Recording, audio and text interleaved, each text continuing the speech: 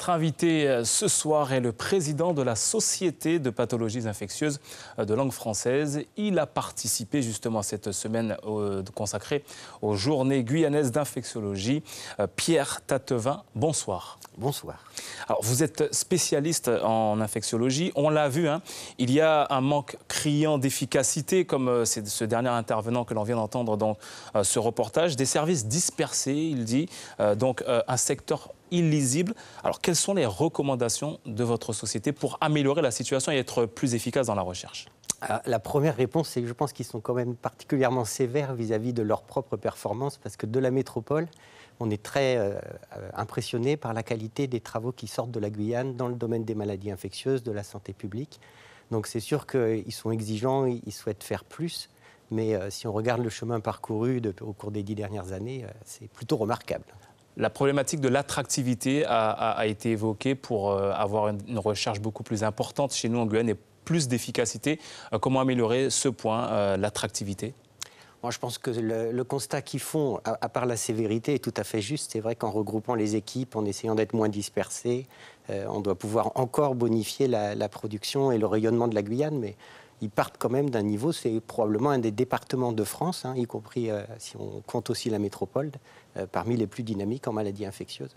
Alors la Guyane est une terre de recherche, on le sait, on l'a dit euh, dans les titres, un constat une nouvelle fois qui revient donc dans l'actualité.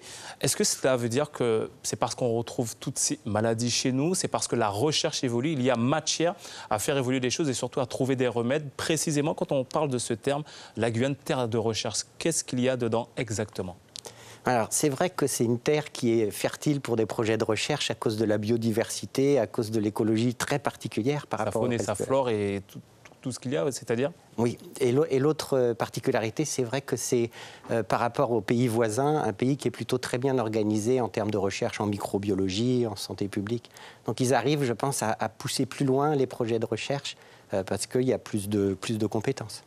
L'actualité est marquée par euh, ce coronavirus qui, euh, qui donc euh, fait l'actualité partout hein, dans, le monde.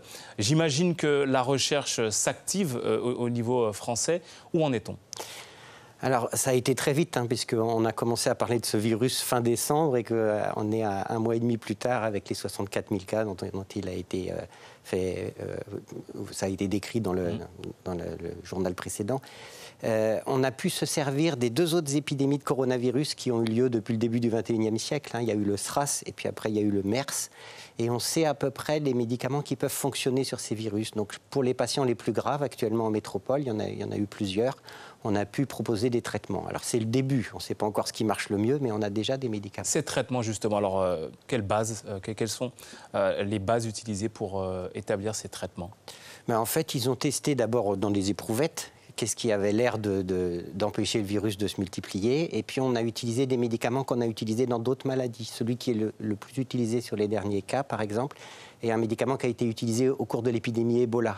Donc on sait à quelle dose il faut donner, quelle est la tolérance et les patients commencent à le recevoir. Alors c'est trop tôt pour dire, mais on, a déjà, alors que ça existe que depuis quelques semaines, des traitements qui ont l'air de fonctionner. Dernière question, on se projette. Est-ce que cela prendra du temps afin de, trouver euh, d'ici demain un remède euh, à ce coronavirus qui sévit en Chine maintenant, pas que un peu partout euh, dans le monde? Alors ça va probablement prendre du temps. Combien de temps à peu près quand on parle de prendre du temps? C'est difficile à dire parce qu'ils vont à des vitesses différentes, ces épidémies, mais il va falloir certainement plusieurs mois avant de savoir quel est le traitement qui fonctionne le mieux et comment l'utiliser et pour quel patient. On rappelle que vous êtes donc, euh, Pierre Tatevin, le président de la Société euh, de pathologies infectieuses euh, en langue française. Et vous êtes plutôt d'avis qu'il y a des avancées concernant donc la recherche ici en Guyane. Merci d'avoir répondu à notre invitation. Merci. Suivez l'info sur Guyane la Première, télé, radio et Internet.